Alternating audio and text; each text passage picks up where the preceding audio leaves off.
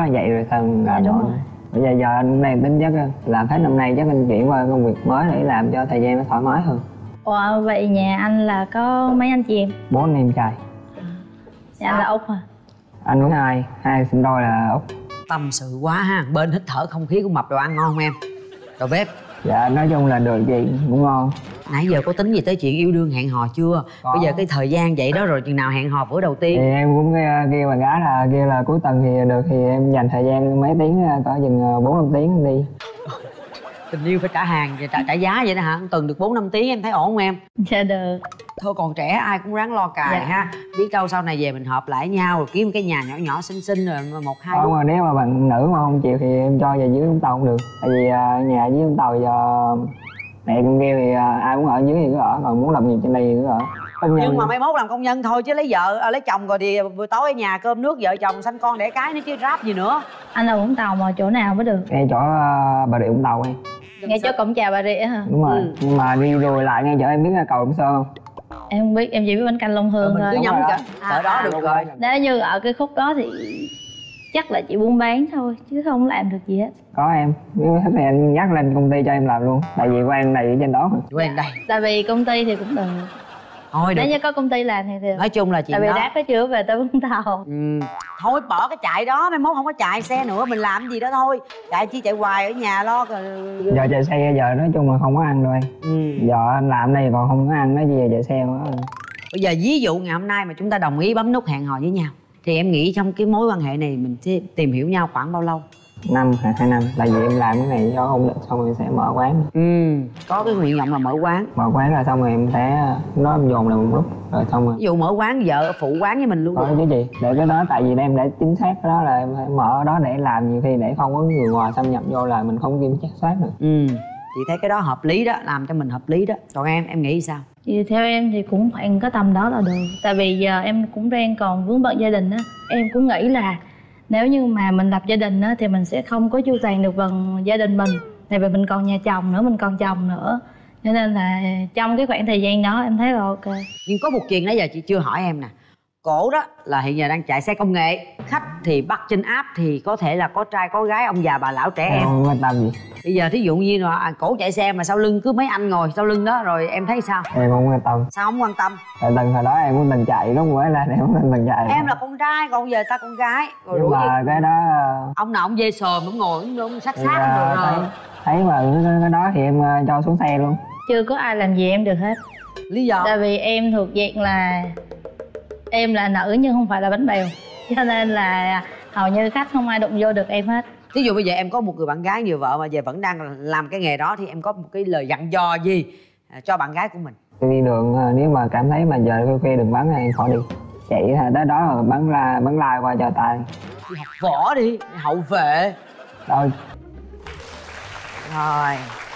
Hello em trai. Trời Ừ. ơi bữa nay hai người người nào cũng đặc biệt hết trơn cái trọi á Rồi bây giờ em trai giới thiệu trước cho chị nè. Nói lớn to tên rõ. là Trịnh Ngân Hòa năm nay em 27 tuổi. Quê Hòa ở đâu? Ở Bà Rịa Vũng Tàu gì Hiện giờ đang sống với ai sống ở làm việc ở thành phố Hồ Chí Minh quận Tân Bình. Sống với mẹ em. Hiện tại là em đang làm bếp ở bên à, bên tàu là sóc chảo về món à, cơm chiên à, hải sản với chân trâu với gà số mỡ gì À là mình nấu có ba món đó thôi. Dạ. Em làm nghề này lâu chưa? Dạ cũng được gần đây tính ra là 4 năm. 4 năm.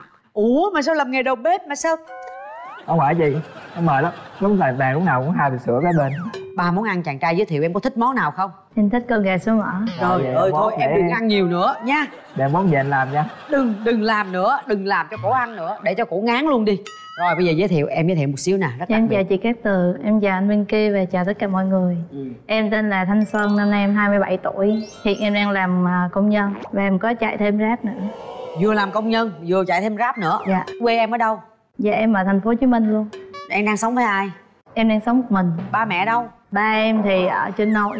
Là em à, ra riêng em tự lập. Nội là ở đâu? Nội em ở Bình Thạnh. Mẹ em đâu? Dạ mẹ em mất 15 năm. 15 năm. Em Dạ. có anh chị em gì không? Dạ có em có một chị gái. Chị gái em giờ sống ở đâu? Chị gái em sống với ba luôn. Ui sao chị gái thì sống với ba mà em thì lại là ra riêng ở dạ mình tại vì ở trên đó nó cũng hơi chật á. Với lại à, em thích à, tự lập cho nên là em muốn ở một mình. Thế em ra một mình này bao lâu rồi? Em sống riêng chắc 6 năm.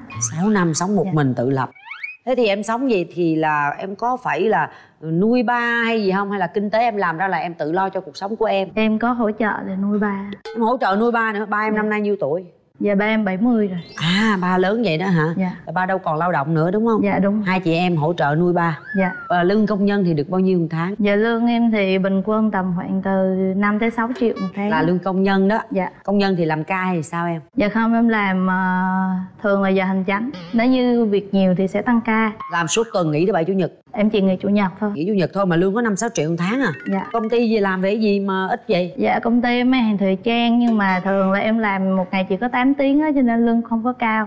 Ban đêm là chạy xe.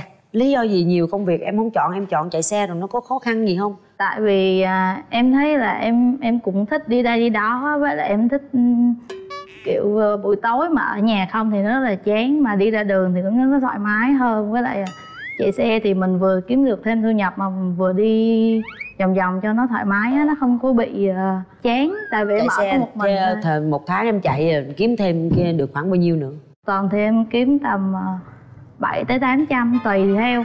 Có tuần nào mà em chạy đều á thì tầm 7 tới 800 còn em chạy từ mấy giờ đến mấy giờ? thường là khoảng bốn rưỡi năm giờ gì đó là em chạy cho tới chiều á bốn rưỡi năm giờ chiều chạy tới mấy giờ? khoảng uh, 8 giờ. Có bữa nào mà khách kêu em đi xa thì có thể 9 giờ 9 rưỡi mới về tới. Nhưng mà thân gái dặm trường ban đêm ban hôm chở khách đi có khi nào gặp cái gì nguy hiểm hay gặp những khó khăn gì trong nghề không? Giờ cũng ờ, có. Tại vì nhiều khi ờ, tùy tùy người á tùy khách. Tại vì cũng có khách thì ờ, dễ thương á người ta dễ chịu thì nó khác. Còn những người mà dạng như người ta cũng hơi khó ví dụ như ờ, mình chạy hơi nhanh tí thì người ta lại nói là chạy ẩu quá này nọ người ta đánh giá mình không tốt. Nghe cái giới thiệu của bạn gái thì em cảm nhận sao? Em có suy nghĩ gì không về công việc của bạn? nữ là chín chắn hơn tự lập cao.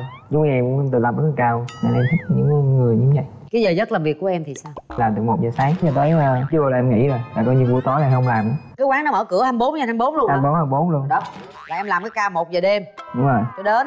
Tới, tới trưa là một giờ trưa á. 1 giờ trưa hôm sau. Là em rồi từ. 1 giờ trưa đó nghỉ tới 1 giờ đêm. Đúng rồi. Ơi cái giờ oan nghiệt vậy trời. 1 giờ đêm làm tới 1 giờ giờ trưa. à, nhiều khi mà mấy bạn nữ mà hỏi em kêu sao không đi chơi kia giờ làm ở nghỉ thì à, đi là mệt là à, không có sức làm rồi bây giờ giả tỷ vậy rồi giờ hẹn hò nhau rồi đi Thì, hẹn, đi chơi sao? à, sắp xếp à, như ngày thường thì nếu mà không khách đông thì em xin à, họ nghỉ ngày hai ngày.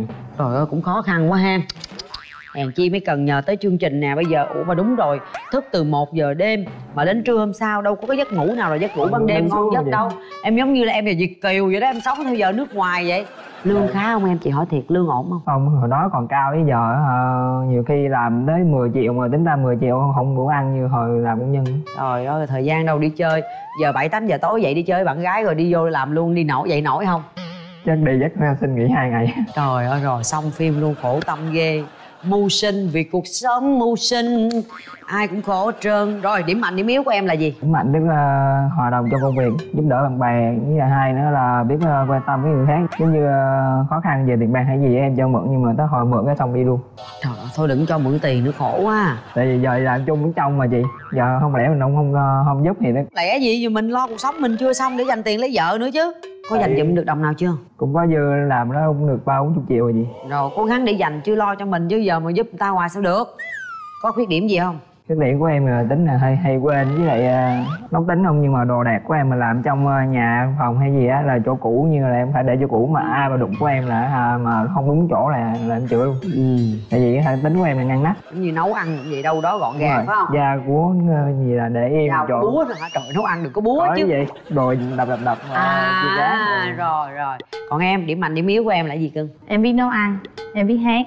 Ừ. còn à, điểm yếu của em là em hơi nóng tính. Với lại em cũng có lúc em hay quên em trải qua mấy mối tình rồi? Hồi đó thì à, em cũng à, ba mối tình mà chính thức là chỉ một mối tình thôi là hồi đó là lúc em mới ra sài gòn.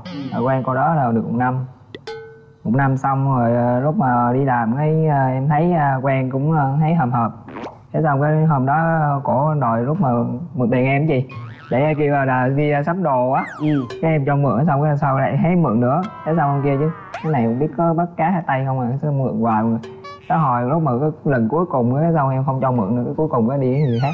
Trời ơi mượn được rồi cuối cùng mà mất hết nhiêu tiền mượn cho mượn hết lần nhiêu lúc ờ, hai ba trăm là gì? Không có nhiều nhưng mà kể là cũng nhiều á cứ mượn lặt vặt lặt vặt vậy dạ đó. đúng rồi nhưng như tại hồi đó là lúc uh, mới lớn không biết nên uh, À. rút rút kinh nghiệm. Rồi mối tình có mối tình nào sâu đậm sau này không gần đây không không? chỉ có được uh, hai ba tháng là không hợp thế là không quen. Tại coi như từ đó đến giờ là không quen. Khổ tâm quá còn em sao em có mối tình nào? Cũng trải qua được hai mối tình nhưng mà có cái mối tình kia là nó sâu đậm nhất là em quen được ờ, hơn một năm. Ừ. Hai đứa thấy cũng rất là hợp. Ừ. Nhưng mà quen được một thời gian thì cũng tính tới chuyện hôn nhân nhưng mà gia đình bạn nó không đồng ý là do là em là người có đạo á cho nên là hai đứa chia tay. À. Dạ. Em đạo gì? Em đạo thiên chúa luôn bạn đó uh, có đạo uh, thiên chúa hay là bên đạo phật các bạn? Em là chúa rồi vậy là cùng quê luôn rồi cùng đạo em. Thì đó đạo chúa bởi vậy cái chàng trai trước là đạo không có đạo chúa mới không được mới chia tay đó. Em ghiền người cùng đạo luôn cho hả? Nãy giờ không nói vậy là may mắn quá rồi đúng không nhẹ được một phần không? Chuyện nhẹ này nhẹ nhiều à tại vì tường biết mà. Bên đạo là họ khó khăn vấn đề đó lắm. Ai cũng muốn giữ cái đạo của mình hết đúng không? mình để cho thoải mái khỏi Đúng cần phải bò bó. Mà đã trùng hợp được cái đạo là thấy được 50% thành công ngày hôm nay rồi đó. Giờ em muốn kiếm người bạn trai như thế nào? Em thích những người mà đơn giản thôi nói ít làm nhiều. Có cái gì thì cũng nói thẳng với em chứ đừng có im lặng. Em không có thích im lặng. Rồi à, ngoại hình? Ốm ốm một xíu ấy cao hơn em một xíu. Em cao mét mấy em cao mấy bốn mươi tám à. bốn tám à em cao mét mấy? Sao làm gì? Rồi vậy được rồi xứng đôi vừa lứa. Thế còn em thích người bạn gái thì sao? Em thích uh, người cân đối hiền với là hai nữa là biết uh, chăm lo công việc với hai nữa là biết uh, chăm lo trong uh, gia đình nữa. Em không thích uh, càm ràm. Sự càm ràm hay làm cho em mỗi lần em làm việc mình về căng thẳng. căng thẳng nói nữa là em buồn ngủ luôn. Chết cha bên này nói hơi nhiều lúc nào vui vẻ nói nha lúc đang mệt mỏi là bỏ em nói là em em em ra một em ra ngoài không rồi thằng nói nữa là em đi ra quán uống cà phê với em. Không, không bao giờ em nói lại trời đất ơi nhưng mà trong cuộc sống phải có trao đổi nhau chứ mới đúng hiểu. rồi nhưng mà phải hiểu và chia sẻ bởi vậy em mới cần người ờ, tìm mà biết chia sẻ cho mình mới thì biết chia sẻ là phải nói mới chia sẻ chứ rồi không cho người ta nói rồi sao được? Không nói ít thôi chị chứ đừng nói nhiều quá chứ bởi những thứ chị không đáng thì mình đừng nói. Nhưng mà nói chuyện thiên hạ thì không được chứ mà chuyện hai đứa để mà trao đổi để hiểu nhau Rồi. để xây dựng thì phải trao đổi chứ. Đúng rồi chị ngoại hình. Ngoại hình em không cần ờ, nhiều chỉ biết ờ, ngoan hiền lễ phép với lại ờ, biết cư xử người đó thôi. Đâu em có đem hình gì không? Cho chị cho Dạ em. đây trong đây có một chàng trai đầu bếp ha 27 tuổi thân hình gọn gàng nhỏ nhắn xinh xinh. Một cô gái trời ơi tôi nhìn ra được tôi chết liền luôn á trời. Đầu quá em bó tay luôn đưa về hình gì mà ai mà có kiếm được mà còn đưa cái hình cái hồi còn đi học thắt căng quần đỏ nữa. Cái này chắc em ngu đường quá vậy. Này coi cho vui thôi em ơi chỉ đại thôi chứ sao biết được. Ác ghê luôn. Em nghĩ là anh này. Đâu anh này phải không? Dạ anh anh mặc quần đen đi nè. Được rồi để coi. Chứ em nghĩ này lý do sao ta chọn cái cô ngồi đó? Nghĩ là chỉ ngồi mới thấp thì mới ngồi. À, à đâu đưa tôi coi tôi cũng không nhận ra. Chỉ có thấp mới ngồi. Thấp mới ngồi. Thấp là không bao giờ được ngồi đâu anh à, à. thôi tôi không biết luôn bó tay. Rồi lát nhờ cô chỉ giùm mời hai bạn nhìn về phía cánh cửa trái tim và xem người chúng ta chọn trong hình và người thật việc thật ở ngoài giống nhau hay không nhé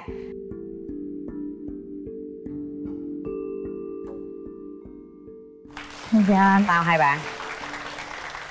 Hình của em là cái này không? Không phải anh ơi. Rồi. Chứ em là cô gái nào trong đó? Em đứng kế bên cái con màu vàng á. Đứng kế bên con màu vàng.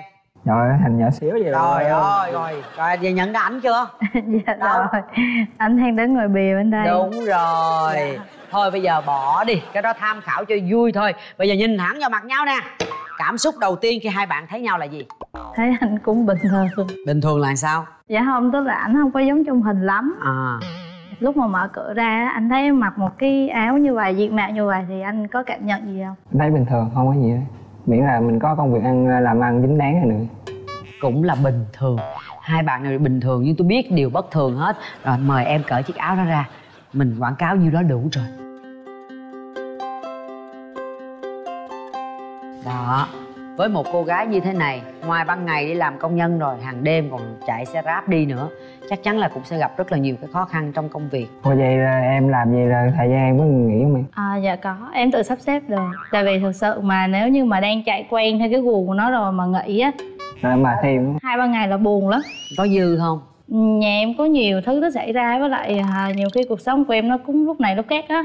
Nó nhiều biến cố lắm cho nên là à, em mới à, không có quá nhiều cũng không quá ít. Nói chung em là có thể chia sẻ một hai cái biến cố gì đó mà nó nó quan trọng trong thời gian vừa qua của em? Ờ, ví dụ như là ba em cứ hay bệnh á.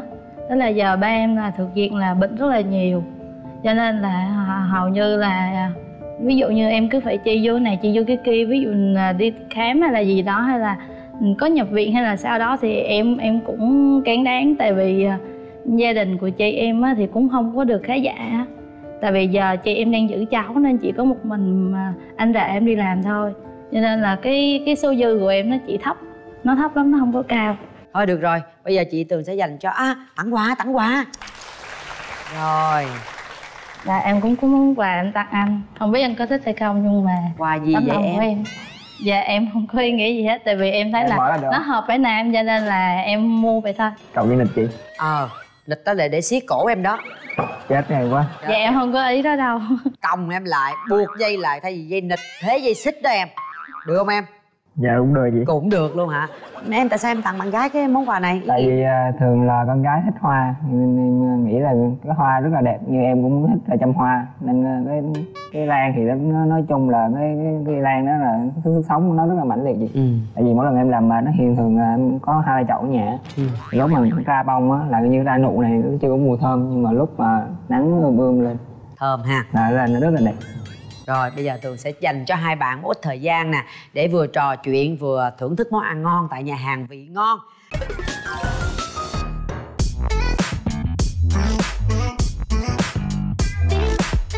Rồi mời hai bạn thưởng thức món chả rươi tứ kỳ của nhà hàng vị ngon nha. Rồi nhớ vừa ăn vừa nhâm nhi vừa trò chuyện với nhau. Một chút xíu chị Tường sẽ quay lại nha. Tự Dạ. nhiên nha hai bạn. Em mời anh. Ăn luôn em. Mà thấy món này thì sao? Ngon nhưng mà em không thích vị thì là đúng rồi, anh cũng vậy. Anh thì thời gian cũng hơi khó khăn, nếu mà hai thời gian đó vậy em ờ, sắp xếp được? Giờ cũng được. Nhưng mà nãy anh nói là nếu như mà đi chơi mà để anh nghỉ hai ngày thì chắc khỏi đi chơi cho rồi. Tại vì nếu như mà à, anh không có thời gian rảnh á, thì ví dụ một tuần gặp nhau một lần hoặc là một tháng gặp hai lần là được rồi, không cần phải gặp quá nhiều. Em thích là mỗi ngày là có sự tương tác với nhau á. Trước nay là em em không có thích im lặng. Người ta có câu là im lặng là dễ xa nhau. Em cũng nói hơi nhiều á nhưng anh có chấp nhận được chuyện đó không? Nói mà biết đúng chia sẻ của, của, của mình với giống như là của anh với em giờ đang nói là chia sẻ đúng không? Ờ. thì anh có, có chấp nhận được nhưng mà đừng có nói nhiều mà theo cái kiểu mà cảm làm quá. Là anh không thích. Tại anh nói là anh là người à, hơi gọn gàng anh thích gọn gàng đúng không? Đúng rồi. Nhưng mà em thì là người hơi bừa bộn một tí. Em cũng giống anh nữa là em không thích ai đụng vô đồ đạc của em hết. Đúng rồi. Ví dụ đồ đạc của em là đụng vô thì phải có sự cho phép của em mặc dù mình không khó nhưng mà giống như nó là cái cái cái bản chất của mình rồi. Quen nó bao giờ mình để đâu rồi giờ Dạ, nó rồi. tìm nó rất khó. Nên Dạ, thà vậy- nói trước. Dạ đúng rồi nói trước rồi lấy lấy xong rồi để lại chỗ cũ. cũ. Dạ em cũng thích như vậy. À, anh cho em hỏi cái là anh có đi lễ không? Anh đi để sáng sớm rồi để À. chừng ờ, 4 giờ 5 giờ không? Anh làm giấc một giờ sáng rồi anh đi lễ sao? Xin người ta. Giống như mình đi xin xong á chạy vô làm luôn chứ giờ cái thời gian chiều á mình ngủ rồi mệt quá dậy rồi sao mình làm rồi. bây giờ giờ anh đang tính chắc á, làm hết năm nay chắc anh chuyển qua công việc mới để làm cho thời gian nó thoải mái hơn. Ồ, vậy nhà anh là có mấy anh chị em? Bốn anh em trai. Dạ anh là út à anh với hai hai sinh đôi là út Tâm sự quá ha. Bên hít thở không khí của mập đồ ăn ngon không em? Đầu bếp dạ nói chung là được chị cũng ngon. Nãy giờ có tính gì tới chuyện yêu đương hẹn hò chưa? Có. Bây giờ cái thời gian vậy đó rồi chừng nào hẹn hò bữa đầu thì tiên em cũng kêu kêu bạn gái là kêu là cuối tuần thì được thì em dành thời gian mấy tiếng ờ, cỡ chừng ờ, bốn năm tiếng đi Tình yêu phải trả hàng và trả, trả giá vậy đó hả? Tuần được 4 năm tiếng em thấy ổn không em? Dạ được. Thôi còn trẻ ai cũng ráng lo cài Dạ. ha. Biết đâu sau này về mình hợp lại nhau Rồi kiếm cái nhà nhỏ nhỏ xinh xinh rồi một hai Không mà nếu mà bạn nữ mà không chịu thì em cho về dưới Vũng Tàu cũng được. Tại vì à, nhà dưới Vũng Tàu giờ mẹ con kêu thì à, ai muốn ở dưới thì cứ ở Còn muốn lập nghiệp trên đây thì cứ ở. Công nhận Nhưng mà mai mốt làm công nhân thôi chứ lấy vợ à, lấy chồng rồi thì buổi tối ở nhà cơm nước vợ chồng sanh con đẻ cái nữa chứ ráp gì nữa. Anh ở vũng tàu mà chỗ nào mới được? Ngay chỗ à, Bà Rịa Vũng Tàu em ngay chỗ cổng chào bà rịa hả? Đúng rồi. Ừ. Nhưng mà đi rồi lại ngay chỗ em biết là cầu Đông Sơn không? em không biết em chỉ biết bánh canh long hương mình thôi. cứ nhắm cả. cỡ đó được rồi. nếu như ở cái khúc đó thì chắc là chị buôn bán thôi chứ không làm được gì hết. Có em. Nếu thích thì anh nhắc lên công ty cho em làm luôn. Tại vì quen này ở trên đó quen đây. Tại vì công ty thì cũng được thôi được. Nếu như có công ty làm thì được. Nói chung là chuyện tại vì đó. đáp cái chưa về tới vũng tàu. Ừ. thôi bỏ cái chạy đó mai mốt không có chạy xe nữa mình làm gì đó thôi. Chạy chi chạy hoài ở nhà lo rồi. Giờ chạy xe giờ nói chung là không có ăn đâu em ừ. Giờ anh làm đây còn không có ăn nói gì giờ chạy xe quá bây giờ ví dụ ngày hôm nay mà chúng ta đồng ý bấm nút hẹn hò với nhau thì em nghĩ trong cái mối quan hệ này mình sẽ tìm hiểu nhau khoảng bao lâu năm hay hai năm. Tại vì em làm cái này cho ổn định xong rồi sẽ mở quán. Ừ. Có cái nguyện vọng là mở quán. Mở quán là xong rồi em sẽ nó em dồn lại một lúc rồi xong rồi ví dụ mở quán vợ phụ quán với mình luôn. Có chứ gì? Để cái đó tại vì em để chính xác cái đó là em phải mở đó để làm nhiều khi để không có người ngoài xâm nhập vô là mình không kiểm soát được ừ. Chị thấy cái đó hợp lý đó làm cho mình hợp lý đó. Còn em em nghĩ sao? Thì theo em thì cũng khoảng có tầm đó là được. Tại vì giờ em cũng đang còn vướng bận gia đình á. Em cũng nghĩ là nếu như mà mình lập gia đình á, thì mình sẽ không có chu toàn được bằng gia đình mình. Tại vì mình còn nhà chồng nữa, mình còn chồng nữa. Cho nên là trong cái khoảng thời gian đó, em thấy là ok. Nhưng có một chuyện đó giờ chị chưa hỏi em nè cổ đó là hiện giờ đang chạy xe công nghệ. Khách thì bắt trên app thì có thể là có trai có gái ông già bà lão trẻ em. Không quan tâm gì bây giờ thí dụ như là à, cổ chạy xe mà sau lưng cứ mấy anh ngồi sau lưng đó rồi em thấy sao? Em không quan tâm. Sao không quan tâm? Tại từng hồi đó em cũng từng chạy lúc mới lên em cũng từng chạy. Em là con trai còn giờ ta con gái. Rồi nhưng mà cái đó ông nào ông dê sờm ông ngồi ông, sát thì, sát à, rồi, thấy thấy mà cái, đó thì em à, cho xuống xe luôn. Chưa có ai làm gì em được hết. Lý do? Tại vì em thuộc dạng là em là nữ nhưng không phải là bánh bèo. Cho nên là hầu như khách không ai đụng vô được em hết. Ví dụ bây giờ em có một người bạn gái người vợ mà giờ vẫn đang làm cái nghề đó thì em có một cái lời dặn dò gì à, cho bạn gái của mình? Đi đường à, nếu mà cảm thấy mà giờ khuya khuya đừng bắn em khỏi đi. Chạy là tới đó rồi bắn la bắn lai qua cho tay đi học võ đi hậu vệ. Thôi khỏi cần gì? Em không có. Em có võ hả? Đứng đứng lên đứng lên đứng lên. Thầu thủ dài đường tôi coi võ gì có sinh với lại mà thái. Đâu làm thử một một một một miếng tôi coi coi có bảo vệ được người yêu không nè. Như vậy đúng không? Em vừa vô đúng không? Một ngàn rồi còn không là người ta vừa sát tới em để có chỗ tán ngay đây. Ô bập vô. Còn không để lên luôn. Ồ lên luôn vậy luôn. Lên ngay đây. Đây đây nếu mà vô thái bí nha. Cho nên mà bây giờ bạn gái là bạn nha. đang chạy xe nè. Đây là xe đúng không? Rồi. À, em đang chị xe. Nè đúng không? Giờ người ta làm như em vậy hay sao em đỡ em phải cần đỡ tay lên. À, đã tay Ờ, em như vậy. đỡ lên. Đó. Nè em vô vô nè. Đó thấy không? Làm đấm cái này luôn. Hiểu không? Đấm. Làm thử làm thử làm thử. Làm lại nè. ờ, đấm cái này có chết. Ví dụ thôi làm thử làm thử ví dụ thôi. Vô rồi rồi một hai ba. Đỡ không đó là anh đỡ chứ không là anh phản lại luôn. Á à, ủa rồi đó giờ đi rồi có à, em có học võ gì không? Dạ không chị ơi giờ à, rảnh rảnh hai đứa đi học võ đi. Thứ nhất là thể dục. Tập thể dục cho ấm bớt Đúng nha. rồi. Này em cho cho kiên lại chứ không là để uh, mốt lên nửa ký đâu mà đây rồi thôi được rồi. Bây giờ nè chị tường cho hai bạn 30 giây nữa nhìn thẳng vào nhau. Hôm nay cuộc gặp mặt này mình cảm thấy như thế nào? Trước khi chúng ta quyết định có bấm nút hẹn hò với nhau hay không 30 giây nhìn nhau bắt đầu. Chung thì cái này gặp em là cũng cái duyên rồi. Nói chung thì đến hay không đến được với nhau á thì anh cũng coi như bạn nhưng mà em thì hôm nay em lên chương trình thì em cũng hơi run á. Nhưng mà em cái mục đích em lên đây á là em muốn tìm một người tử tế đàng hoàng thôi. Cái công việc của anh á thì em thấy nó cũng khá là vất vả đó. Muốn hẹn hò gì đó thì anh nói ờ, ok thì em sắp xếp công việc được. Tại vì công việc của em là cái công việc rap là em Lúc thích thì chạy không thích thì Ừ. thôi. Dạ em off bình thường không Anh có gì hết. Nhưng mà anh thua là anh á tại vì nếu như anh cảm thấy quá mệt thì anh cũng không cần phải hẹn đâu. Hoặc là một tháng mình gặp nhau hai lần cũng được chứ không nhất thiết là phải ép buộc nhau vô trong cái khuôn khổ đó để để chi để làm khổ nhau chứ làm được gì đâu đúng không? Hay quá. Nói hay quá không biết hát hay không nè. Hát bài của Akira Phan nha. Cuộc sống có lúc dòng sông có khung ta chia tay sẽ đẹp hơn. Miền cương sẽ không hạnh phúc. Miền cương chỉ làm thêm đau từ nay tôi sẽ không còn tin ai vì không ai tốt hơn chính mình. Tôi sẽ với tình tôi tôi sẽ chia lìa em để con đâu được yên giấc. Hay là gì? Trời đất ơi mới gặp bạn gái mà hát cái gì tôi không tin rồi. Gì mà chia tay rồi này kia đau buồn không vậy? Rồi rồi em có bài gì làm cho anh khúc luôn nè. Em thì em hay hát nhạc buồn buồn kiểu Rồi, chia trời. tay giống vậy luôn. Rồi cho lỡ rồi hai đứa chia tay luôn. Chia tay chia tay nhiều khi nó dội ra cái nó sáp vô. Này em Tình cờ bỏ em rồi trong một buổi chiều mưa rơi. Những nỗi buồn mong cơn mưa hay cuốn trôi Chẳng sợ ướt vai vì khi ngoảnh lại. Lòng em từ lâu đớn đau rồi Anh ơi. Trời ơi hay quá. Sao thấy giọng của hát tuyệt vời không? Giọng ống gì hay quá này chắc vừa chạy xe vừa lúc mà nghiêu ngao hát mình đây nè. Đúng không? Rồi thôi được rồi thời gian dành cho hai bạn đã hết. Đặt tay vào nút bấm đi hai bạn. Sau 3 tiếng đếm của chị tường nếu đồng ý hẹn hò bấm mạnh. Nếu không đồng ý chúng ta có quyền lấy tay ra. Nhắm mắt lại đi hai bạn. Suy nghĩ thật kỹ nha. Một hai ba. Hết thời gian. Thật tuyệt vời. Đôi đèn đã sáng lên. Mời hai em qua bên đây. Trước tiên đây là những chiếc vé xem phim gửi tặng hai em để có thời gian mình xem phim tìm hiểu nhau. Đây là phần quà của chương trình gửi tặng em để làm đẹp. Phần quà dành cho em là bộ son Yurika đến từ Nhật Bản với chất son lì không chì mang nhiều màu sắc trẻ trung phù hợp với mọi cá tính sẽ giúp cho bạn tự tin nổi bật trong mọi ánh nhìn. Cô gái rất dễ thương bản lĩnh à, nữ nhưng không bánh bèo chạy xe công nghệ là tuyệt vời. Một chàng trai đầu bếp có một tương lai hoài bão cho riêng mình cũng rất là rõ ràng. Hy vọng rằng hai em có thể kết hợp được với nhau để tạo dựng một cái tương lai sự nghiệp ổn định cho hai đứa về sau này một cái mái ấm của gia đình mình.